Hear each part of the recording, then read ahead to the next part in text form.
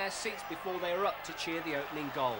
A perfect cross from David Bardsley and an even better header from Martin Foyle. Within three minutes, United's lead had disappeared. What went wrong as Sheridan Centre floated over the defence and Noel Blake raced in to score.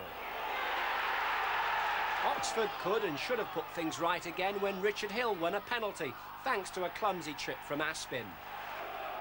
Up stepped Bardsley and disaster, his second penalty miss in a row. It took United only a matter of minutes, though, to get the goal they deserved. Some slack, if not downright sloppy defensive work, let Les Phillips in. The next twist in this amazing match came just before half-time when Leeds came back again. This time it was Vince Hilaire who outmanoeuvred the United defence.